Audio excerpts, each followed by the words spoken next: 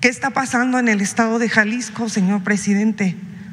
No se le puede hacer este tipo de cuestionamientos a Enrique Alfaro, lo voy a decir, te amenaza y te amedrenta y utiliza a la fiscalía y a la policía estatal para empezar a hostigarte. Hay mucha indignación en el Estado por parte del gremio de la prensa, porque en su informe salió tal cual, y ahí están las grabaciones, amenazar a la prensa local. ¿Por qué? Porque la prensa estamos cansados, estamos hartos de que salga a mentir con tanta impunidad, de que no podamos ejercer el periodismo. Y aquí, el día que salió a amenazar a la prensa local de Jalisco, ni artículo 19, ni periodistas desplazados, ni reporteros sin fronteras, ni ninguna ONG salió a pronunciarse al respecto. Recordemos el caso del compañero y colega Ricardo Ravelo, que lo amenazó por una investigación, que Enrique Alfaro está siendo investigado por el gobierno de Estados Unidos por nexos con el crimen organizado.